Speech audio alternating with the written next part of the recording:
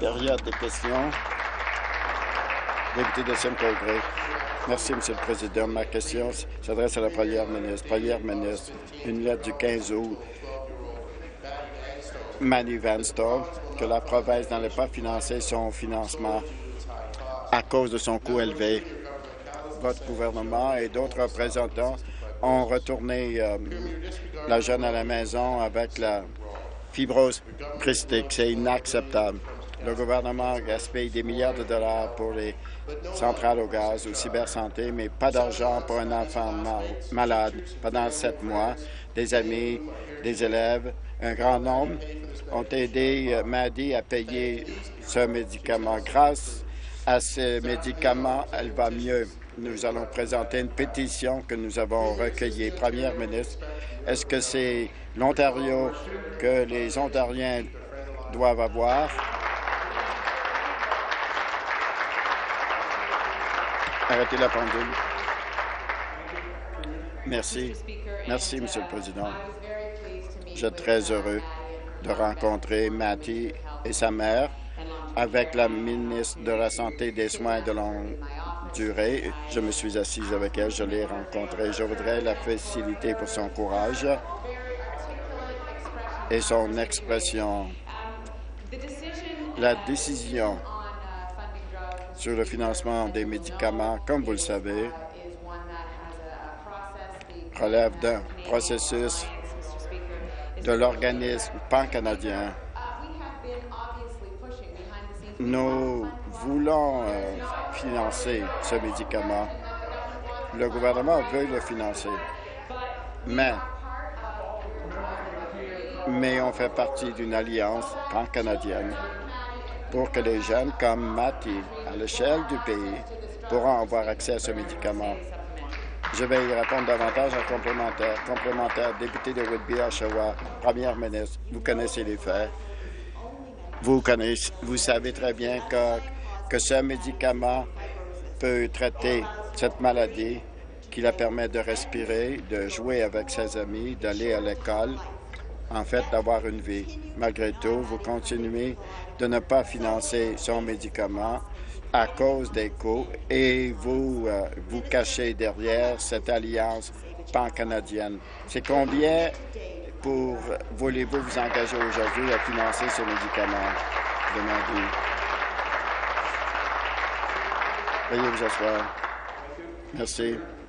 Première ministre, on ne fait pas, on ne met pas de prix sur la vie humaine, comme la députée d'en face le sait.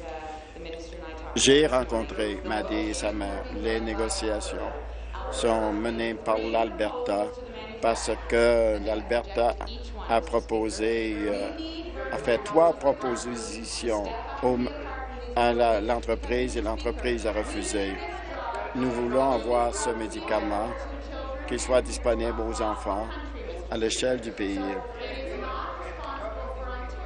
Donc, ce n'est pas l'Ontario de miner les propositions des autres provinces. Nous allons faire tout en notre pouvoir pour accélérer le processus, ce processus, pardon, et je l'ai expliqué à Maddy et à sa mère.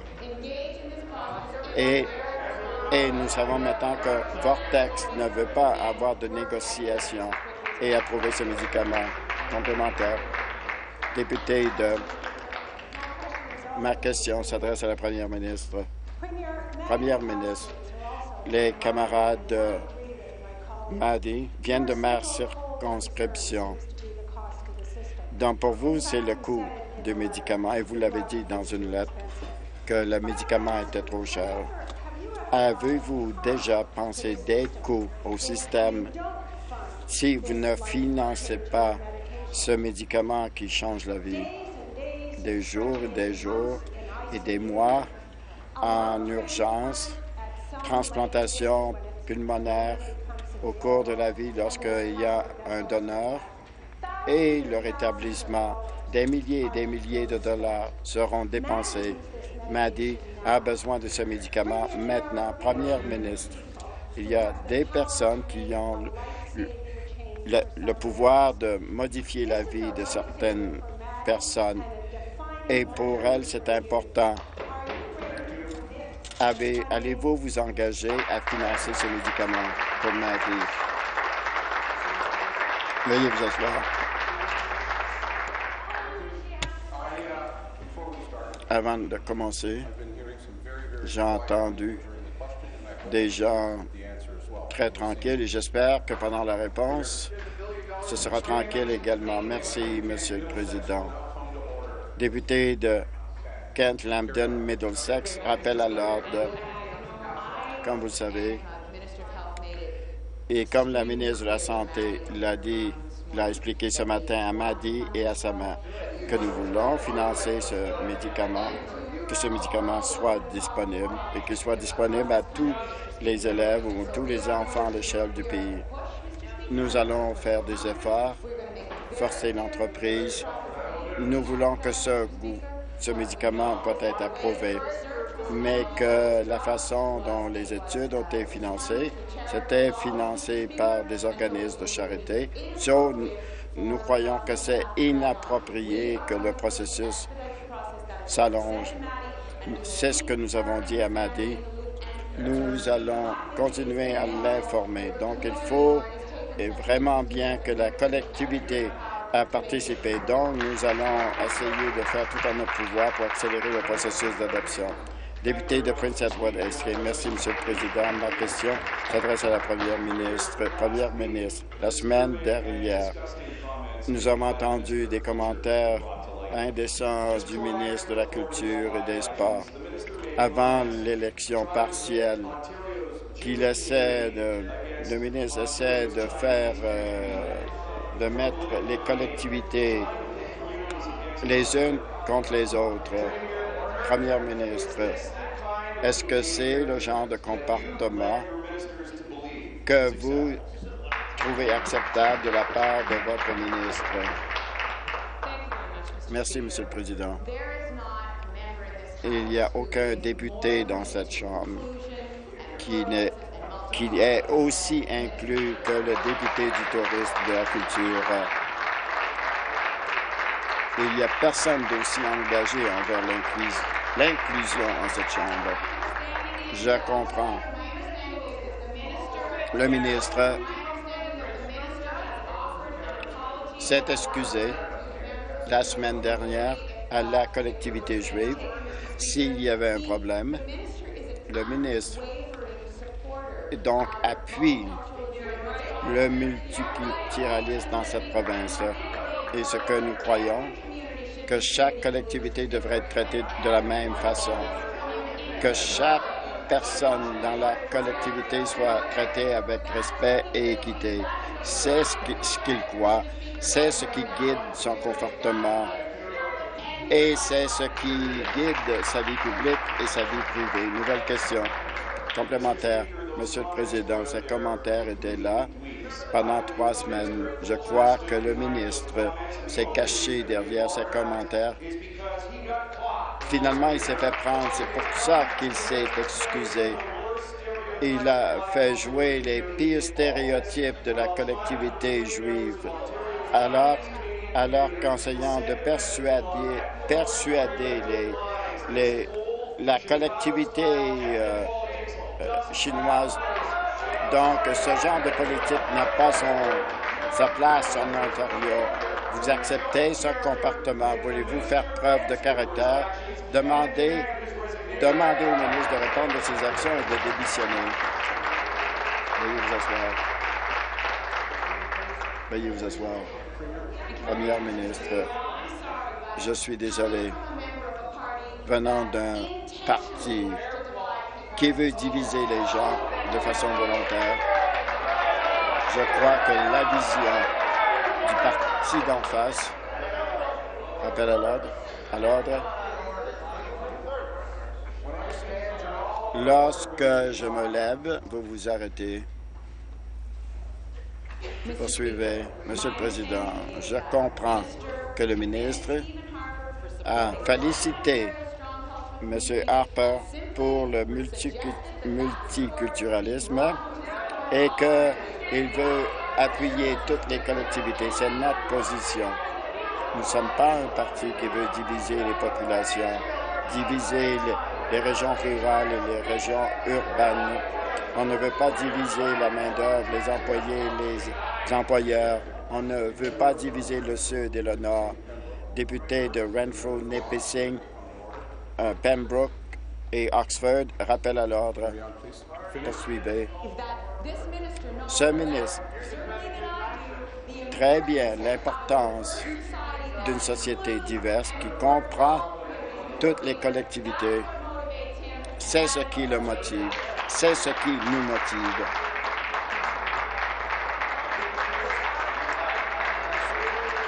Veuillez vous asseoir, s'il vous plaît. Veuillez vous asseoir, s'il vous plaît.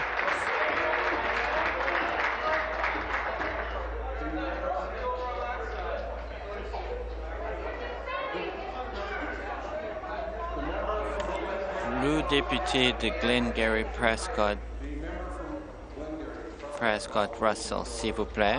Alors, j'ai ça, mais ça prend tellement de temps à avoir de l'attention. Le, député de Dufferin Keller, le député de Leeds Granville, s'il vous plaît, n'indiquez qui que ce soit du doigt. Question complémentaire finale. La députée de Thornhill. Monsieur le Président, ma question s'adresse au ministre du Tourisme, de la Culture et des Sports. Dans ma circonscription de Thornhill est dans la même région que le ministre. C'est une des euh, régions... Je l'ai entendu. Arrêtez la pendule.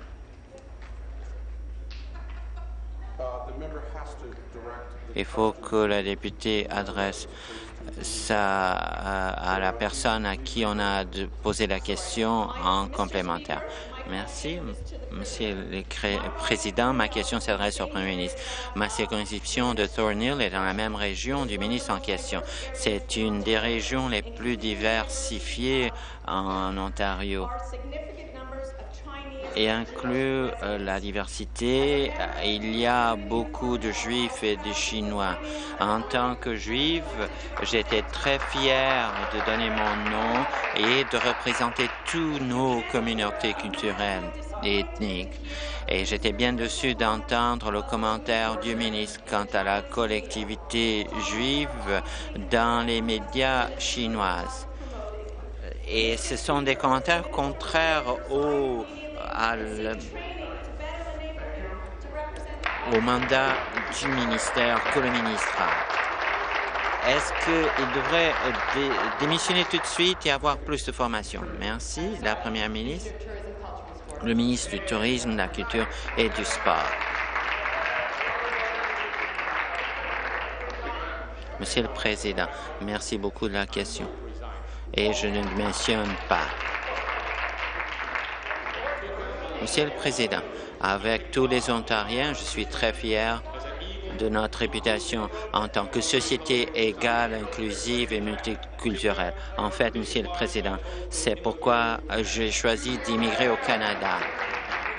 Monsieur le Président, je demande au gouvernement Harper de reconnaître les contributions importantes faites par toutes nos communautés culturelles, et y inclut les Philippins euh, sud-asiatiques et les Sino-Canadiens. C'est important d'appuyer également toutes les communautés ethnoculturelles. Et nous avons beaucoup de chance d'avoir beaucoup d'entre eux ici en Ontario. C'est ce qui rend les Ontariens tellement uniques. Merci, Monsieur le Président. Arrêtez la pendule. Veuillez vous asseoir, s'il vous plaît. Veuillez vous asseoir, s'il vous plaît. Thank you. Merci. Nouvelle question. Le député de Toronto Danforth. Merci, Monsieur le Président. Ma question s'adresse à la Première ministre. Est-ce que la Première ministre pense que les euh, commerçants d'énergie privée euh, doivent avoir le droit de prendre des profits et donner les factures aux Ontariens? Le ministre de l'Énergie. On a, Monsieur le Président, on a un système mélangé en Ontario. Il y a des compagnies publiques qui participent, il y a des compagnies privées qui participent dans le secteur de l'énergie. L'investissement que le secteur privé a fait en Ontario, c'est de plusieurs milliards de dollars. Le système énergétique dépense de 18 à 20 milliards de dollars par année. C'est une opération énorme. Il y a de l'expertise incroyable et beaucoup d'expérience dans le secteur privé. Nous sommes en partenariat avec le privé et j'attends la question complémentaire parce que j'ai des questions pour ce député-là. Merci. Question complémentaire. J'ai hâte d'avoir une réponse et de répondre aussi. Ça serait nouveau, mais ça serait bien. Depuis que l'expérience d'énergie privée a commencé, l'Ontario a été le Wild West pour l'électricité privatisée et euh, le, euh, l'organisme réglementaire dit qu'il n'y a pas de rôle du marché et de ne pas avoir une règle euh, démontre que le marché est différent les commerçants de l'énergie exploitent ces échappatoires. Est-ce que la Premier ministre peut nous dire quand on va voir des mesures pour protéger les consommateurs?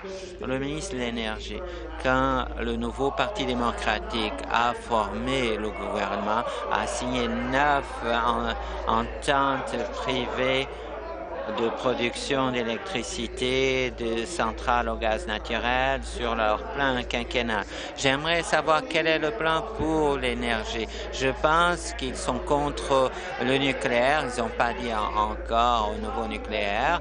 Ils sont contre la rénovation et ils parlent de 50 du du système. Quand qu'est-ce qu'on va faire pour euh, éliminer après l'élimination du nucléaire? Combien ça va coûter? Et plus important, combien d'emplois ça va coûter? Question complémentaire, complémentaire finale. Euh, parfois, la première ministre essaie de s'échapper à la question, mais dans ce cas, je ne pense pas qu'ils ont compris la question. Je vais essayer une deuxième fois. Le gouvernement libéral a eu dix ans pour composer avec la question des compagnies qui jouent des jeux avec le marché privé. Pour des gens qui payent l'électricité la plus élevée au pays, c'est un autre exemple d'un gouvernement qui s'en fiche du gâchis dans le système d'électricité en Ontario. Après des années d'inaction, l'organisme réglementaire fait des consultations pour résoudre les, euh, le problème. Et on a vu des consultations pendant des années. Les gens continuent leurs factures et que veulent les payer, veulent s'assurer que leurs intérêts sont Est-ce que la première ministre veut me dire si elle va poser des mesures pour les gens qui jouent avec le système?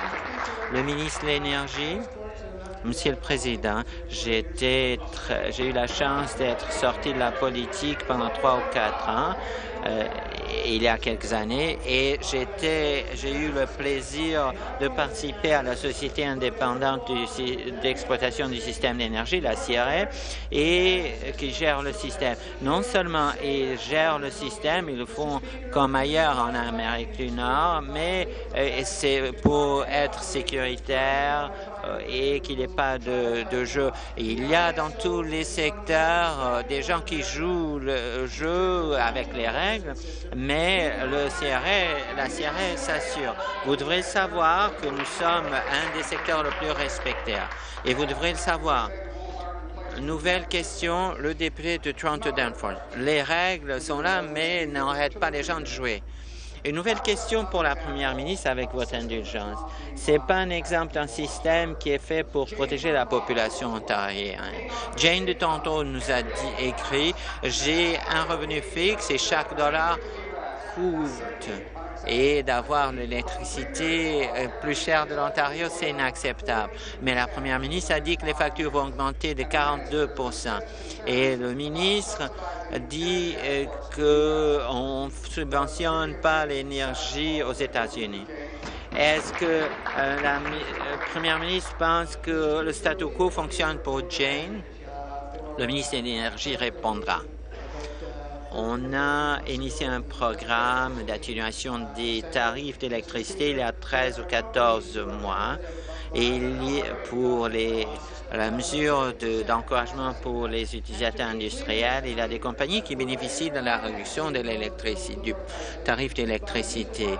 Euh, comment on financie ça? C'est en utilisant l'énergie supplémentaire. On a un surplus de l'énergie, on l'utilise pour réduire les tarifs de l'électricité pour les utilisateurs commerciaux.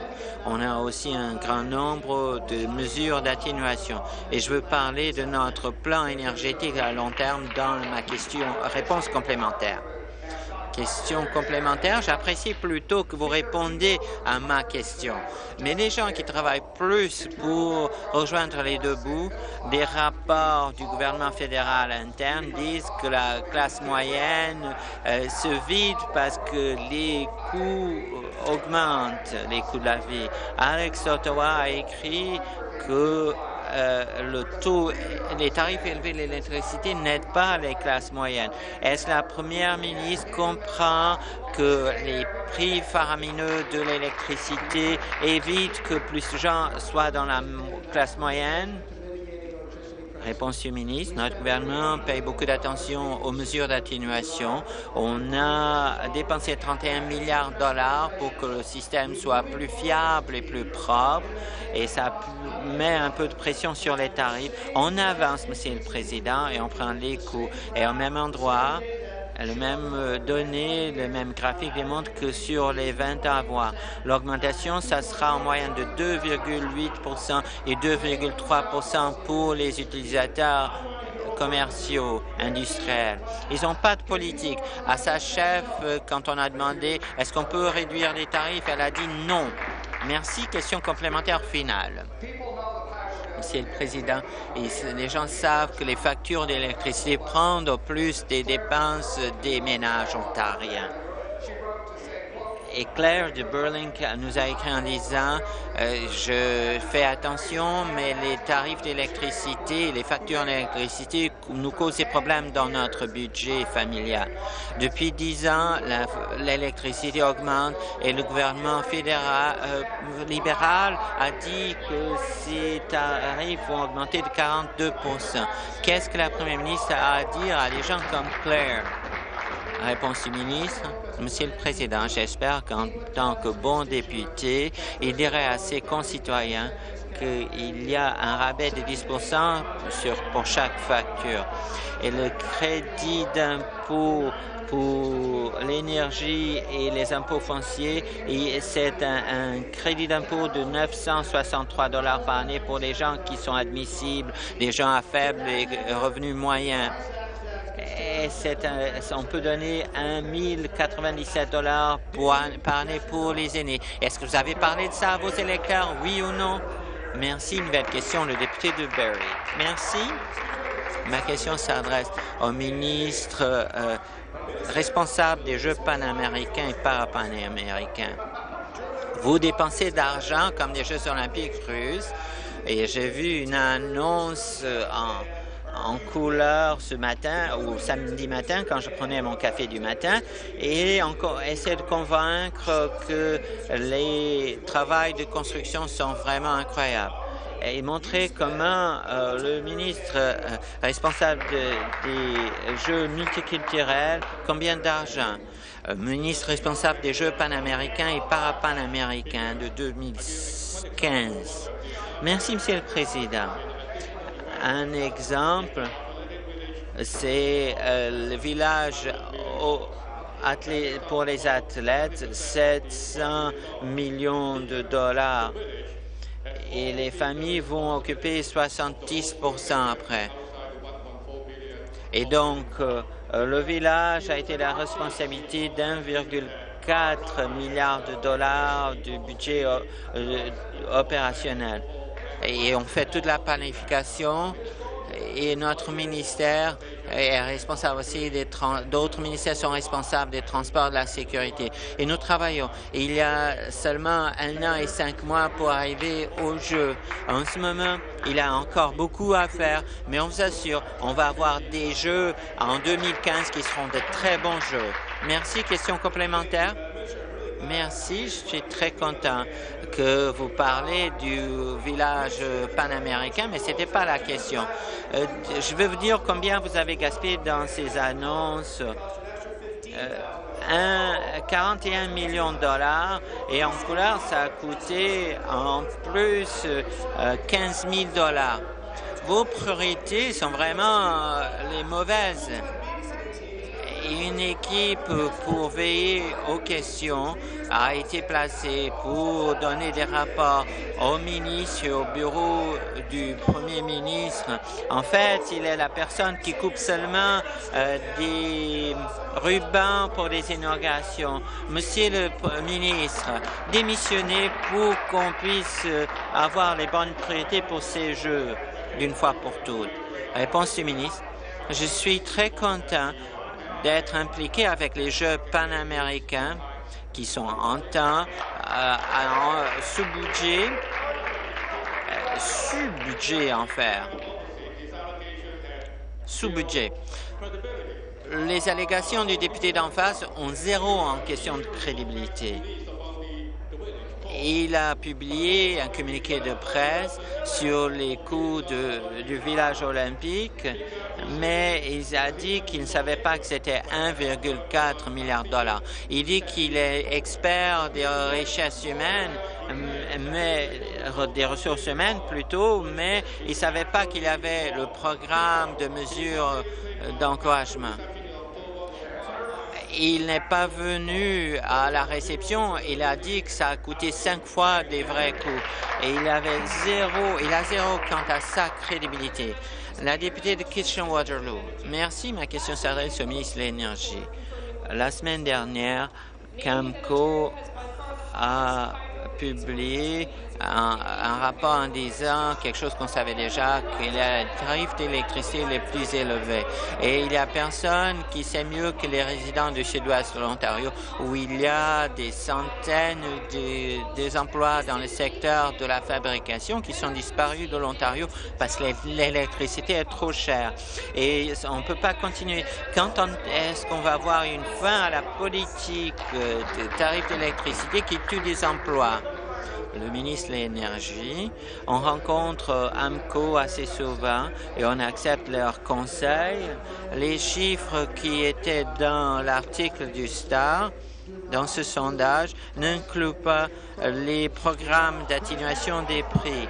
Les programmes d'atténuation des prix comme les mesures d'encouragement pour les utilisateurs industriels qui réduit les tarifs d'électricité et l'initiative d'économie euh, industrielle réduit les prix de 50% euh, Beaucoup de compagnies d'AMCO participent à cela.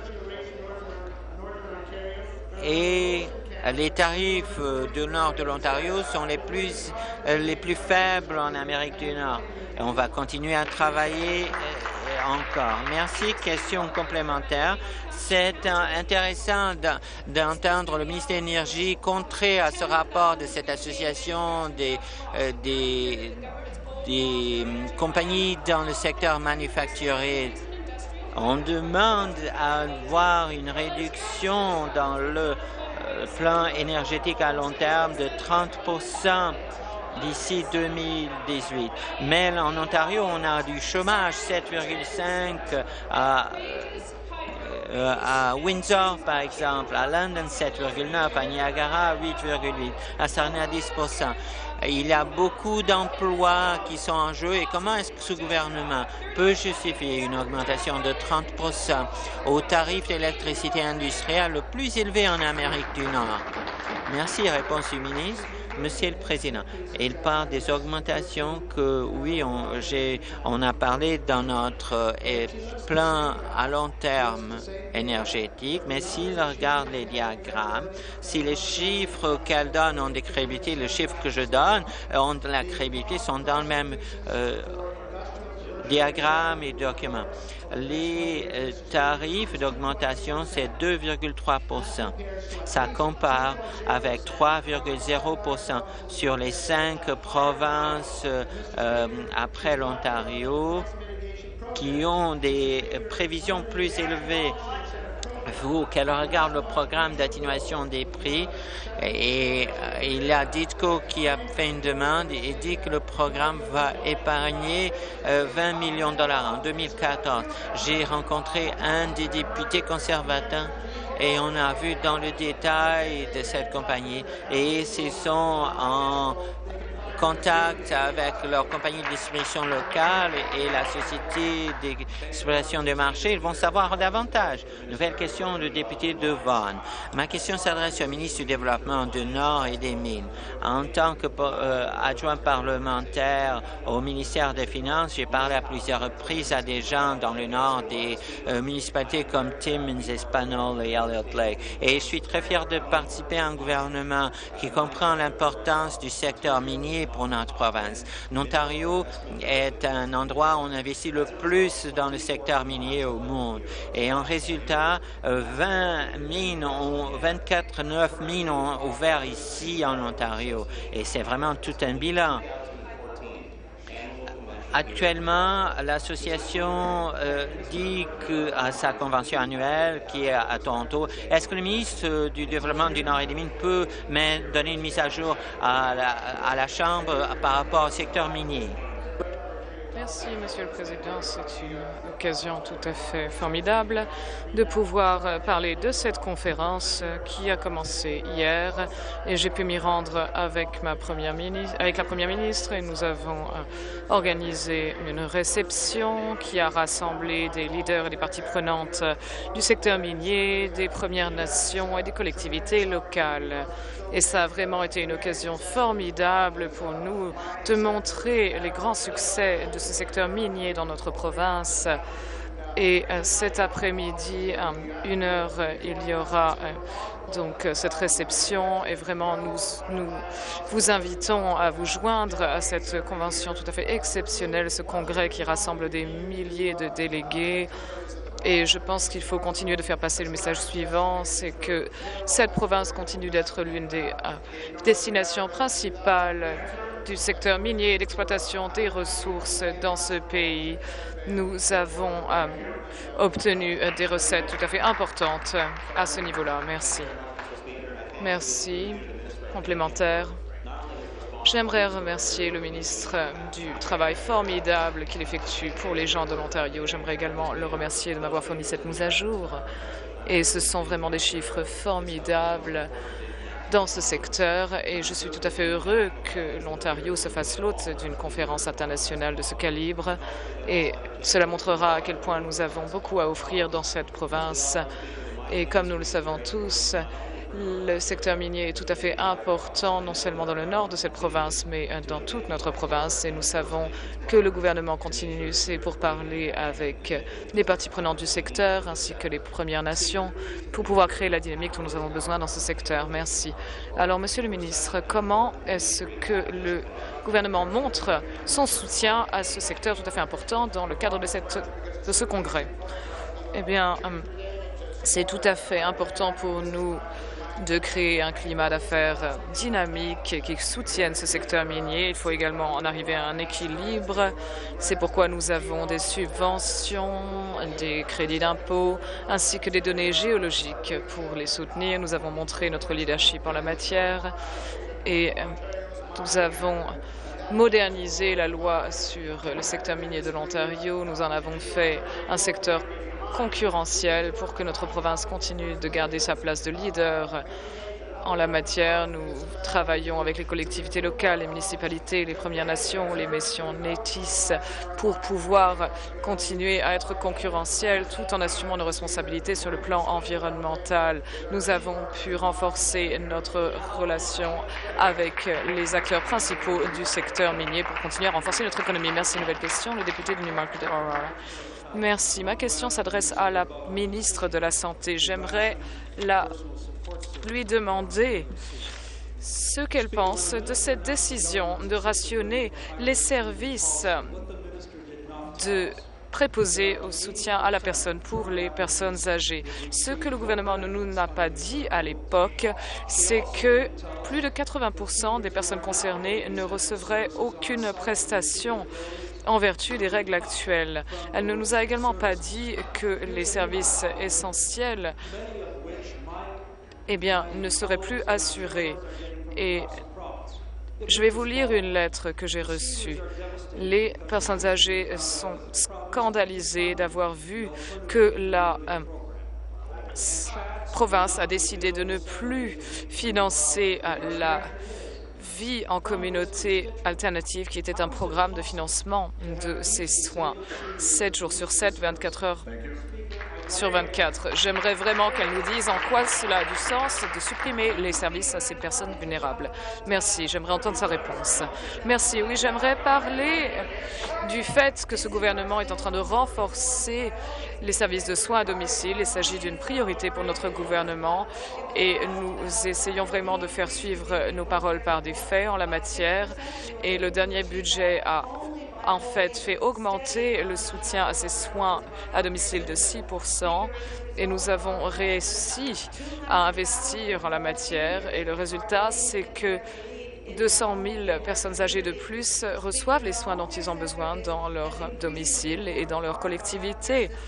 Et ces soins représentent de plus en plus une portion très importante de notre système de soins de santé. Et bien sûr, il s'agit de s'assurer que ces personnes puissent recevoir des services à domicile si possible. Et nous sommes en fait en train d'étendre la portée de ces services. Merci. Monsieur le Président, cette rhétorique eh bien, ne fonctionne pas avec les personnes âgées de cette province qui sont en train de perdre leurs services. En juin 2013, le service des services sociaux et des soins à domicile dans la région de York a dit que ça aurait des impacts vraiment graves sur les services fournis aux personnes âgées de cette région. Et il disait également que 80% des demandeurs actuels ne recevraient aucun service et cela continuait ainsi. Je vais vous dire dans quoi investi ce gouvernement dans des scandales, des scandales comme cybersanté, les annulations euh, des centrales au gaz, par exemple. Ils ont un bilan scandaleux, désastreux. Ils ne fournissent pas les médicaments nécessaires à des gens qui en ont tellement besoin. Il n'y a pas de supervision dans ce gouvernement, et ceci au détriment des personnes âgées et des personnes vulnérables de cette province. J'aimerais vraiment qu'elle nous dise si elle a l'intention d'annuler cette politique. Merci. Rasseyez-vous, s'il vous plaît. Rasseyez-vous. Merci. La ministre. Je pense qu'il est important que les députés entendent les faits réels sur le terrain. Nous sommes en train de changer le système de prestation des soins dans cette province, et ceci dans le bon sens. Les casques aident 650 000 personnes et plus à obtenir les soins dont elles ont besoin dans ces collectivités et cette province. Il s'agit de 200 000 personnes de plus que lorsque le gouvernement est entré en fonction. Et 26% de personnes de plus peuvent rentrer chez eux après avoir été hospitalisées qu'auparavant. Ce sont des gens qui, normalement, auraient fait l'objet de soins de longue durée, mais ils peuvent être soignés maintenant à domicile, ce qui est bien mieux pour eux. Ces deux dernières années, nous avons augmenté le nombre de gens qui reçoivent des soins à domicile de 76 000 et nous continuons d'étendre ces services. Et pour cela, nous avons besoin de préposer des soins au service à la personne et nous continuons à étendre ces soins.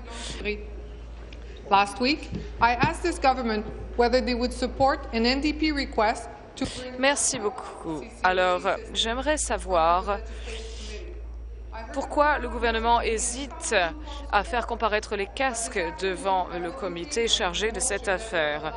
Et j'ai l'impression que les choses n'avancent pas vraiment en la matière. Et je vais aujourd'hui présenter une motion pour pousser le gouvernement à prendre des mesures concrètes en ce sens. Est-ce que la ministre pourrait nous dire si elle va soutenir une telle initiative d'action au niveau des casques? Merci. Merci, Monsieur le Président. Et comme je l'ai dit au député de Newmarket Aurora, les soins communautaires représentent l'un de nos investissements principaux. Et c'est un secteur de plus en plus important dans le cadre de notre secteur des soins de santé. Et nous devons continuer à améliorer en permanence la qualité de ces soins, ainsi que l'optimisation des ressources en la matière. Et nous investissons de plus en plus dans ce secteur et cela représente une pression diminuée pour les hôpitaux. Il y aura également des listes d'attente plus courtes pour les soins de longue durée. Je suis tout à fait engagée pour les soins à domicile, les soins communautaires et leur renforcement, et je veux absolument m'engager en ce sens, et j'aimerais beaucoup obtenir des conseils en la matière. Je suis tout à fait ouverte aux suggestions. Merci. Merci, le Président. Je parle non des soins non des soins à domicile, mais des casques qui fournissent ces soins communautaires. Ils ont de nombreux problèmes. Nous sommes allés dans le cadre d'un comité voir de nombreux airlifts qui se plaignaient sans exception de leurs casques. Et donc, il y a des promesses qui ont été faites par ce gouvernement, mais aucun délai n'a été mentionné à la matière. Donc, il y a eu des propositions euh, de plafonnement des salaires de la direction, par exemple. Mais nous voulons voir le gouvernement prendre des mesures et ne pas ajouter des promesses à des promesses. Alors j'aimerais lui demander encore une fois quand est-ce que le gouvernement va enfin s'engager à soutenir cet examen urgent des casques? Merci. Monsieur le Président, je pense qu'il est important que la députée d'en face sache que les casques sont euh, les responsables de la gestion de nos soins communautaires. Et bien sûr, on ne peut pas sous-estimer l'importance de cette coordination. Mais nous sommes en train de dépenser 260 millions de plus cette année que l'année dernière. Donc vous vous rendez compte de l'importance du financement que l'on a ajouté. 110 millions de plus sera investi dans les soins à domicile. Il y aura 60 millions de plus investis dans notre objectif d'une attente maximale de 5 jours, 15 millions de plus qui seront attribués à la diminution des temps euh, d'attente. Il y aura 75 millions de plus pour les soutiens communautaires, les organismes tels que les repas euh, livrés à domicile et bien d'autres choses. C'est tout à fait important dans le plan, sur le plan de notre plan pour la santé. Merci. Merci. Nouvelle question. Ma question s'adresse au ministre des Affaires autochtones. Ce gouvernement investit dans les gens, dans les infrastructures nous avons cruellement besoin et également dans l'amélioration de notre climat d'affaires dans cette province. Nous reconnaissons tous l'importance d'une collectivité autochtone forte pour la santé économique, culturelle et sociale de notre province. Dans ma circonscription de Scarborough-Guildwood, il y a une population autochtone importante. Nous faisons des progrès dans de nombreux domaines, mais pouvez-nous, s'il vous plaît, nous informer des mesures que vous avez prises pour améliorer les occasions économiques et d'emploi pour les autochtones de cette province? Merci. Le ministre des Affaires autochtones. Nous avons agi sur de nombreux plans pour créer des occasions pour le secteur privé et les collectivités pour que l'économie de notre province puisse fructifier. Alors, l'une des mesures que j'ai annoncées il n'y a pas longtemps, c'est la continuation du Fonds pour les nouvelles relations avec les Premières Nations. Il s'agit là de créer des emplois pour aujourd'hui et pour demain. Il y a six priorités qui se concentre sur les atouts principaux de cette province, ses gens et ses partenariats économiques. Et il s'agit d'une consultation, de partenariat avec l'industrie, et il faut s'engager pour le développement durable. Ceci est bon pour l'économie de notre province et également pour les Premières Nations, les Métis et les Inuits. Merci, Monsieur le Président. Et j'aimerais remercier le ministre de cette mise à jour sur le statut du Fonds pour les nouvelles relations avec les Premières Nations. Et c'est vraiment une initiative importante pour aider les gens et les entreprises locales pour créer un climat d'affaires plus propice. J'ai eu l'occasion de rencontrer des groupes autochtones dans tout l'Ontario. Je me suis rendue, par exemple, en janvier à Moose Factory en Ontario et j'ai euh, rencontré des représentants de la Première Nation Moose Cree. Donc je sais à quel point ces investissements sont importants pour ces groupes des Premières Nations. Est-ce que le ministre pourrait nous expliquer exactement comment cet investissement est utilisé et en quoi il aide nos collectivités des Premières Nations? Merci. Le fonds a été à l'origine annoncé comme euh, un engagement pour quatre ans en 2008, mais je pense qu'il est important de continuer d'investir en la matière. Alors, par exemple, nous avons nous sommes consacrés à mieux répondre aux besoins de ces collectivités. Nous avons euh, augmenté notre financement en consultation de 80 000 à 90 000 dollars par an. Alors concrètement, qu'est-ce que cela signifie? Cela signifie que dans les cinq années d'existence de ce fonds, il y a eu euh, donc des initiatives de création d'emplois qui ont porté leurs fruits pour des milliers de personnes des Premières Nations.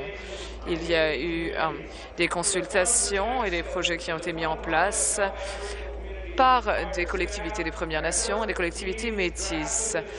Il y a eu euh, donc euh, des initiatives d'embauche, des plans d'affaires et bien d'autres initiatives utiles pour améliorer le climat d'affaires dans ces collectivités. C'est bon pour notre province et c'est bon pour ces collectivités. Merci. Nouvelle question, la députée de Nepean Carleton. Merci. Ma question s'adresse à la Première ministre. Le commissaire de la police provinciale de l'Ontario a fait un témoignage tout à fait clair concernant euh, l'enquête sur la suppression abusive des courriels dans l'affaire des centrales au gaz. Et il s'agit euh, d'une infraction qui est passible de 14 ans de prison en cas d'infraction constatée. Et il est temps maintenant qu'une enquête judiciaire soit faite en la matière et que l'on puisse constater également quel, sera, euh, quel a été le rôle du Parti libéral en la matière. Quand est-ce que la Première ministre va enfin faire preuve d'intégrité et annoncer une enquête en la matière C'est un scandale qui nous a coûté 1,1 milliard de dollars. Merci. Le leader parlementaire du gouvernement. Je suis un peu déçu de la question a été posée par le député d'en face, parce que, au bout du compte, nous sommes dans une situation où la province provinciale de l'Ontario est en train d'examiner la question, et je pense que les députés de cette Chambre savent très bien que nous avons euh, ouvert la porte à la police, nous n'avons jamais fait obstruction à leur travail, nous n'avons pas tiré de conclusions actives. Et j'aimerais vraiment qu'elle arrête de se livrer à ces insinuations douteuses devant cette Chambre. Laissons l'enquête procéder, se dérouler et euh, je pense vraiment que il y aura un moment où bien, le commissaire fera rapport de son enquête lorsque cette enquête sera achevée et je pense qu'il est tout à fait abusif de se livrer à des conjectures en la matière avant que cette enquête ne soit faite.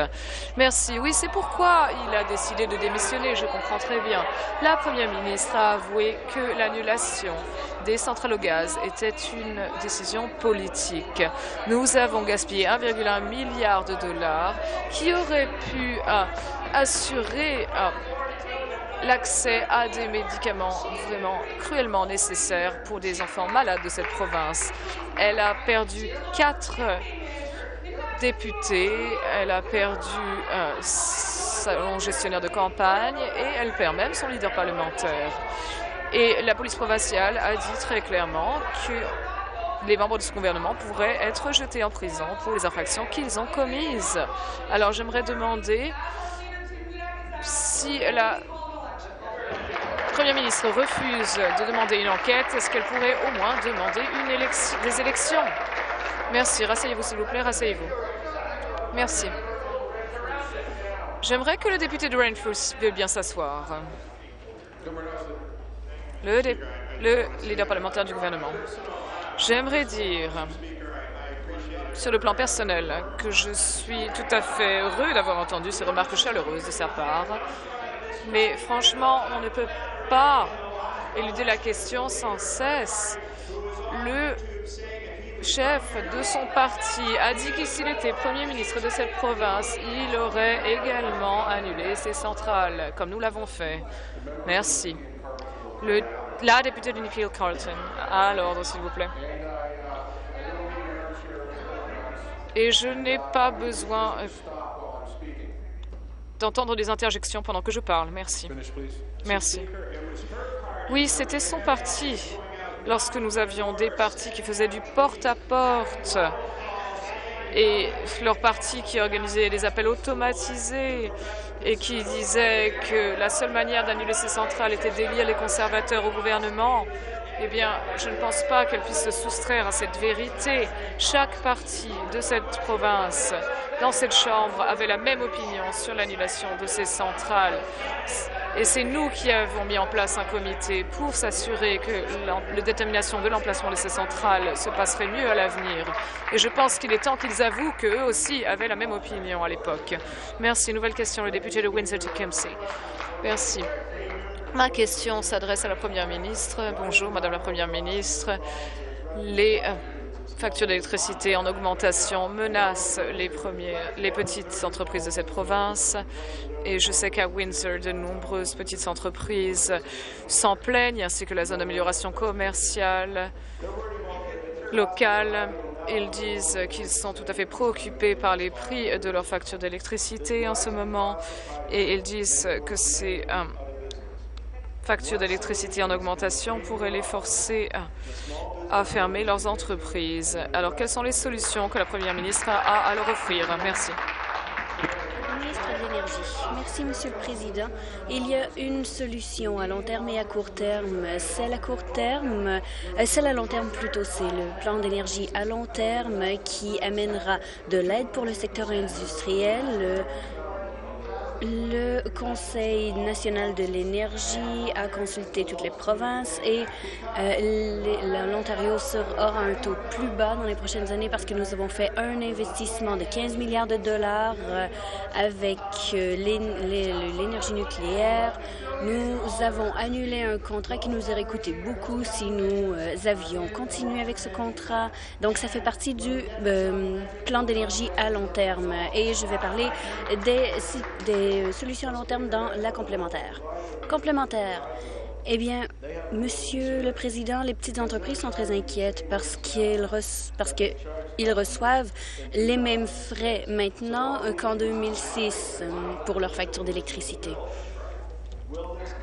Est-ce que ce gouvernement assurera, s'assurera que les PME euh, rassurera plutôt les PME en euh, s'assurant qu'ils réduisent les factures d'hydro.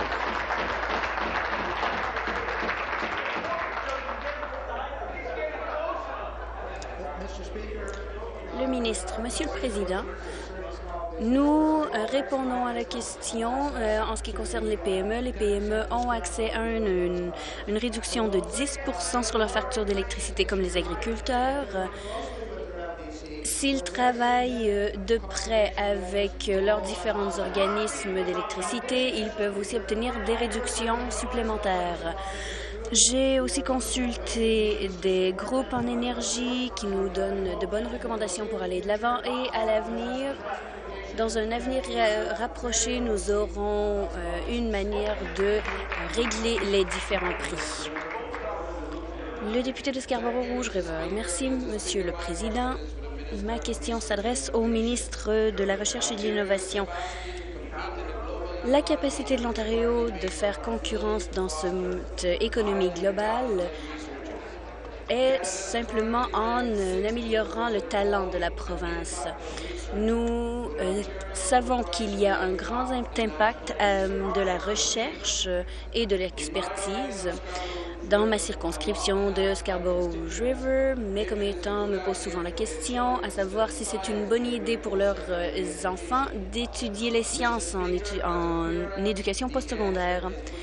La réponse est plutôt évidente, Monsieur le Président. Cependant, je crois qu'il doit y avoir plus euh, que l'on fasse pour aider les étudiants. Monsieur le Président, Qu'est-ce que le ministre fait pour encourager la recherche et l'innovation dans la province euh, afin d'encourager plus de jeunes à être impliqués dans ce domaine? Le ministre de la Recherche et de l'Innovation. Merci, Monsieur le Président. Je voudrais remercier le député pour sa question.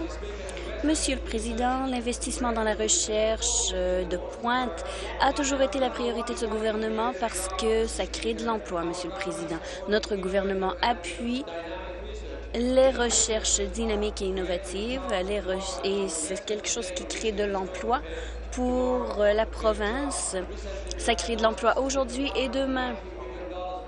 Nous avons eu augmentation, un investissement de 19 millions de dollars, de 65 millions de dollars plutôt, pour financer les projets de recherche à travers l'Ontario. Ce fonds a provoqué le recrutement de 17 000 recherchistes à travers la province et donc d'investir dans des projets tels que celui-ci montre que le gouvernement sait que les idées innovatives sont euh, que les idées novatrices sont importantes dans la province. Complémentaire. Merci, Monsieur le Président. C'est bien d'entendre que notre gouvernement s'engage à appuyer les recherchistes à travers des fonds pour la province.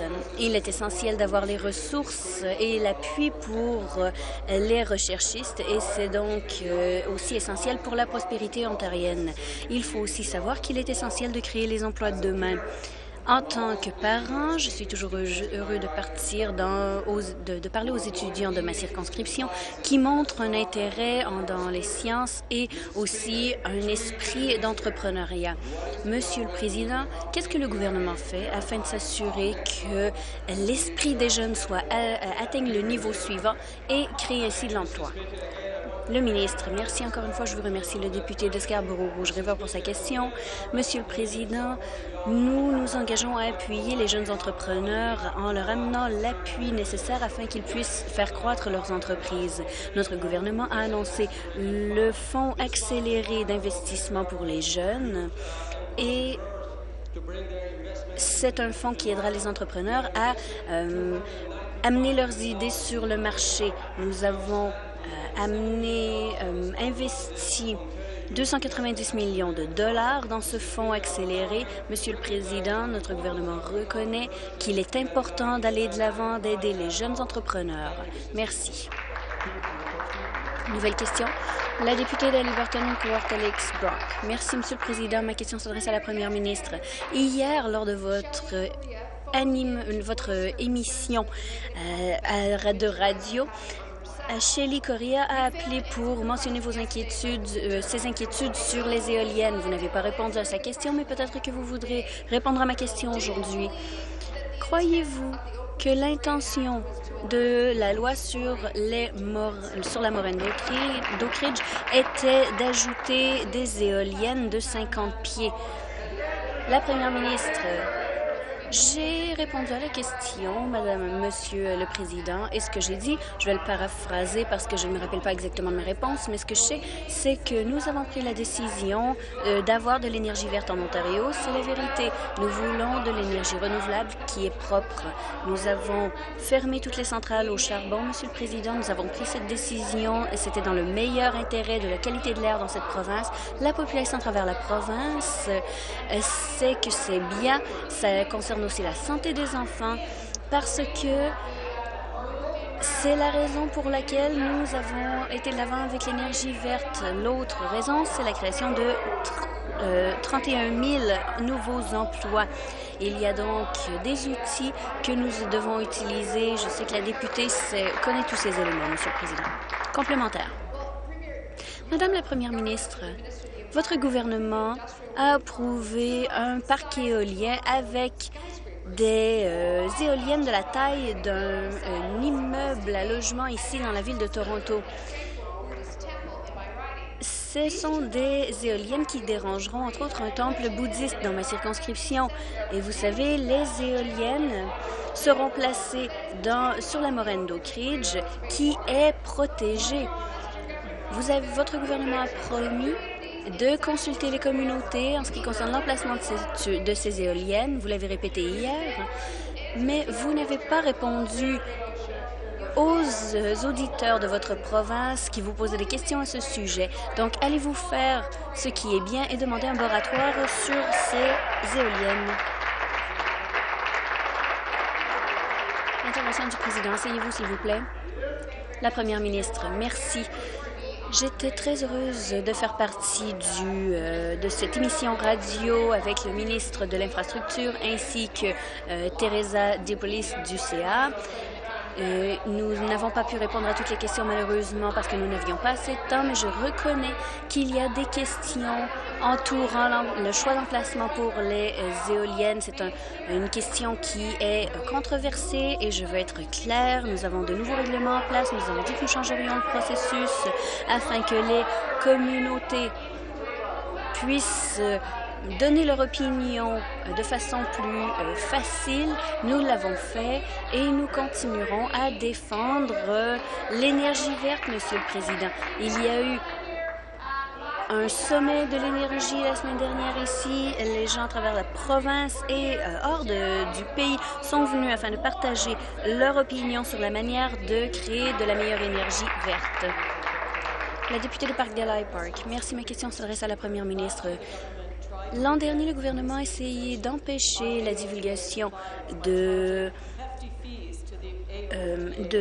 d'informations sur euh, la ADF, mais la raison, avec euh, la demande d'accès à l'information, nous avons enfin obtenu les documents et nous avons su que 17% des organismes du secteur privé avec 20 ou plus d'employés n'ont pas déposer les rapports, les autorapports qui sont demandés par la ODA. Les gouvernements savaient que ces euh, rapports n'étaient pas déposés. Ils ne voulaient pas que l'Ontario le sache. Donc, pourquoi est-ce que la première ministre retient de l'information et est-ce qu'enfin elle agira afin de mettre en place ces critères? La première ministre, je ne suis pas d'accord avec le fond de la question, Monsieur le Président. Nous nous assurons que l'Ontario soit l'endroit le plus accessible au monde, Monsieur le Président. Nous avons euh, pris le leadership en ce qui concerne les règlements afin d'amener de l'accessibilité. Nous demandons que le personnel soit euh, formé pour amener de l'accessibilité aux différentes entreprises, et ce d'ici 2020. J'ai rencontré David Lepolsky plusieurs fois depuis que j'ai pris le pouvoir et nous avons eu des discussions pour la mise en place de cette loi sur l'accessibilité aux entreprises par les personnes handicapées. Nous euh, voulons mettre en place plus de mesures. Le fait est que nous avons euh, nous sommes dans une période de transition et les entreprises, à la fin, euh, finiront par euh, se plier à cette loi. Nous voulons nous assurer que l'Ontario soit l'endroit le plus accessible au monde, Monsieur le Président.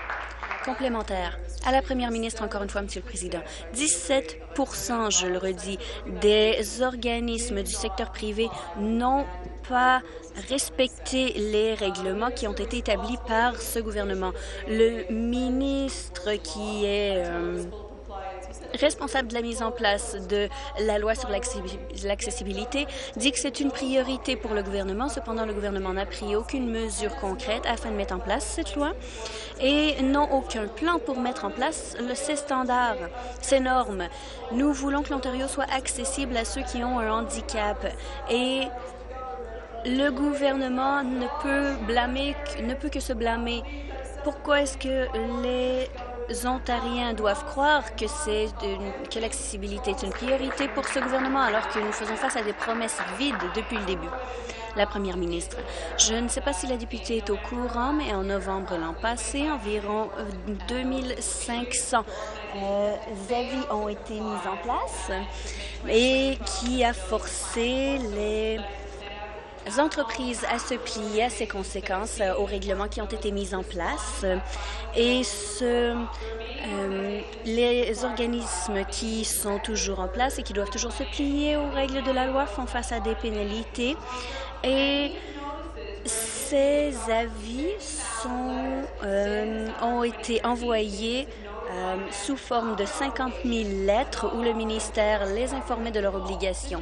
Monsieur le Président, il est essentiel que nous ayons mis la loi en place avec les normes nécessaires et maintenant nous travaillons avec les entreprises et nous voulons qu'ils connaissent les critères pour se plier à la loi. Nous allons continuer à mettre en place la loi. Merci. La députée de Kitchener-Waterloo rappelle au règlement. Merci, Monsieur le Président. Je veux accueillir les membres euh, du, les députés Roméo Saganache ainsi que Claude Gravel de la circonscription de Nickel-Belt. Le député de Renfrew, Pembroke rappelle au règlement. Merci, Monsieur le Président. Plus tôt ce matin, la euh, première ministre a répondu à des questions concernant le ministre euh, de la Culture. Et je crois, Monsieur le Président, qu'il est impossible de dire de façon indirecte ce que, le, euh, ce que vous voulez dire de façon directe. Je crois que le règlement 23 HK a été euh, interrompu, a été euh, enfreint. La première ministre, de façon indirecte, a accusé chaque député du groupe parlementaire d'avoir des opinions racistes. J'en ai assez entendu. Merci. J'ai écouté de près à la période des questions. J'ai écouté les questions, les réponses, et je préférerais un, un échange plus tempéré, comme beaucoup d'entre nous. Je n'ai pas entendu de commentaires non parlementaires, donc je vais le laisser à cet effet. Merci. Je suis toujours debout. Le député d'Elgin Middlesex London m'a informé de son intention de soulever un- un- une question de privilège. Cette question est en lien avec euh, les règlements établis au, euh, est, en lien avec le Fonds de développement du Sud-Ouest et de l'Est de l'Ontario et euh, consiste du fait que si une, annonce publique doit être faite sur les dispositions de l'assistance ou des incitatifs financiers pour euh, ce fonds et ces régions, en ce cas, les députés qui représentent ces circonscriptions doivent être euh, informés et doivent être invités à participer à l'annonce. Le député d'Elgin Middlesex London a informé du fait qu'il n'a pas été averti et on n'a pas reçu la possibilité de participer à une telle présentation dans sa circonscription. Je suis prêt à euh, prendre une décision sur cette question de privilège sans entendre plus de commentaires du député d'Elgin Middlesex London, tout comme le demande le règlement 21D. C'est établi dans les procédures parlementaires que l'application d'une question de privilège est confinée dans le processus parlementaire et les activités des députés dans leur rôle parlementaire. Les députés, les euh, présidents de cette Assemblée, ainsi ici et ailleurs, ont, euh, ont pris des décisions à cet effet sur les différents privilèges. Comme il est mentionné à la page 117 des procédures et pratiques de la Chambre des communes, dans une situation où les députés croient que leur rôle a été euh, entravé, euh, non pas directement hum, en tant que représentants euh, élus, mais plutôt alors qu'ils sont impliqués dans des questions politiques de leur circonscription, les, les présidents ont décidé que ce n'était pas une question de privilège dans une telle circonstance. Cette décision a, a été prise, entre autres, le 26 euh, av- avril 2001 par le président Carr, euh, qui a noté que que les présidents euh, décident constamment, et c'est appuyé par les autorités procédurales en la matière, que le privilège est attaché seulement au devoir parlementaire du, euh, d'un député. Le 4 mai 2010, le président Peters a noté dans une décision que selon euh, les autorités procédurales, euh, les décisions du président devaient protéger les privilèges parlementaires des députés et euh, aussi s'assurer qu'il- que toutes les décisions prises étaient en lien avec leurs devoirs en tant que députés. À cet effet, la deuxième édition de Mango, les par le privilège parlementaire au Canada, dit ce qui suit à la page 222 et 223, que l'interférence euh, n'amène qu'une obstruction que l'interférence constitue l'obstruction d'un député en sa capacité de député.